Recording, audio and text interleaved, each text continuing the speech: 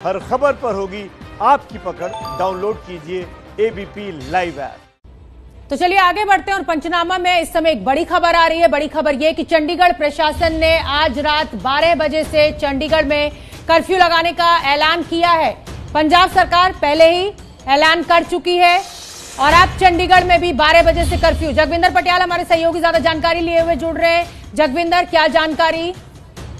देखिए वीपी बिजनौर के साथ वीडियो कॉन्फ्रेंसिंग में चंडीगढ़ प्रशासन ने ये फैसला लिया है कि सख्ती से लॉकडाउन को इम्प्लीमेंट करवाने के लिए आज रात 12 बजे से कर्फ्यू लगा दिया जाएगा और तमाम पुलिस और बाकी एस्टेब्लिशमेंट को कह दिया गया है कि उसके बाद कोई भी आदमी बाहर नज़र नहीं आएगा। ढील देने को लेकर अभी कोई फैसला नहीं किया गया है, लेकिन अभी थोड़ी देर पहले मेरी खुद बात हुई है, मनोज परिदा, जो प्रशासक के सलाहकार हैं सीनियर आईएएस ऑफिसर हैं चंडीगढ़ के, और उन्होंने कहा कि आज रात मिडनाइट यानी 12 बजे से पंजाब की तरह चंडीगढ़ में भी कर्फ्यू लग जाएगा, क्योंकि सुबह से ये दिक्कत आ रही थी कि पंजाब से और दूसरे इलाकों से चंडीगढ़ बीच में जिस तरह से घिरा हुआ है ट्राई सिटी के तौर पर। बाकी जगहों से लोग बहुत ज़्यादा आ रहे थे और पुलिस बहुत सारे लोगों को पकड़ पकड़ कर थाने ले जा रही थी और फिर कहा जा रहा था कि घंटे दो घंटे बाद इनको छोड़ दिया जाए। तो इन तमाम चीज़ों से बचने के लिए अब ये ये फैसला किया गया है कि प्राइम मिनिस्टर की बात को मानते हुए कर्फ्यू ही लगा दिया जाए आज रात से। जी बहुत बहुत धन्यवाद।